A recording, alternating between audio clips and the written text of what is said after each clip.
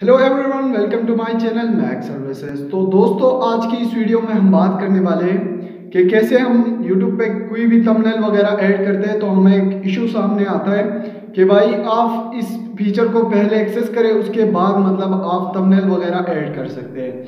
तो दोस्तों, आप यहाँ पे देख सकते हैं, जैसे मैं थंबनेल पे क्लिक करता हूँ तो भाई मेरा मुझे बताता है कि भाई आप पहले इसको एक्सेस करें, उसके बाद आप मतलब वेरिफिकेशन करें और उसके बाद आप थंबनेल ऐड कर सकते हैं। तो दोस्तों, आज की इस वीडियो में हम इसी मौजों पे बात करेंगे।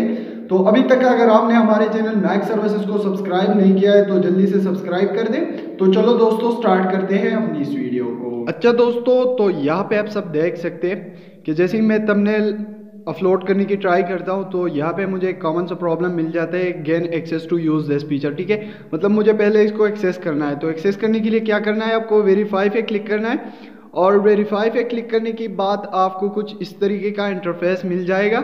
तो यहाँ पे आपको थोड़ा सा वेट करना है। उसके बाद आप देख सकते हैं यहाँ से कॉल वगैरह का जो मतलब आपको जो मैसेज और कोड भेजा जाएगा, उसका मेथड यहाँ पे दिया गया है कि आप कौन सा यूज़ करना चाहते हैं। उसके बाद आपकी कंट्री है। तो यहाँ पे मेरा पाकिस्तान है तो इस वजह से मैं पाकिस्तान ही रहने देता हूँ। उसके बाद यहाँ पे आपको अपना मोबाइल नंबर देना है, ठीक है? तो यहाँ पे मैं इसको हाइड कर देता हूँ अभी। और आप देख सकते हैं, जैसे मैंने मतलब जो भी मैसेज आया है मुझे तो उसमें कोड आएगा। ठीक है, और उस कोड को मैं यहाँ पे एंटर करूँगा, ठीक है? अच्छा जी तो यहाँ पे मैंने अपना मोबाइल चेक किया तो मुझे एक कोड आया हुआ है। तो आपको क्या करना है, यहाँ पे उस कोड को जो कि है, लिख देना है, और उसके बाद जो प्रोसेस है, वो मैं आप सबको बता दूँ। यहाँ पे जो कोड मुझे आया था वो है वन ठीक है? और जो भी नंबर है, आपको यहाँ पे लिख देना है। उसके बाद सबमिट पे क्लिक करना है। और जैसे ही आप सबमिट पे क्लिक कर दोगे तो यहाँ पे आप देख सकते हैं मतलब वेरिफिकेशन हमारी हो गई।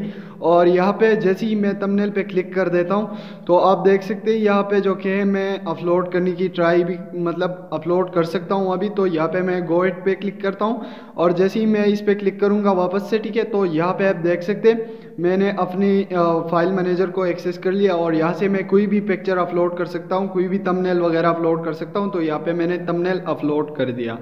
चलिए तो तमनेल अपलोड करने के बाद यहाँ पे मैं सेव का ऑप्शन पे है, इस पर क्लिक कर दूँगा और जैसे ही मैं इस पर क्लिक कर दूँगा तो मेरा तमनेल अपलोड हो जाएगा। अच्छा दोस्तों आई होप कि आप सबको मेरी वीडियो पसंद आई होगी। तो अगर आपने अभी तक हमारी वीडियो को लाइक नहीं किया है तो वीडियो को जल्दी से लाइक करें। और अगर आपने अभी तक हमारे चैनल मैक सर्विसेज़ को सब्सक्राइब नहीं किया है तो जल्दी से सब्सक्राइब करके बेल नोटिफिकेशन को ऑन करें ताकि इसी तरह की नई आने वाली अपडेट आप सबको थैंक्स फॉर योर वॉच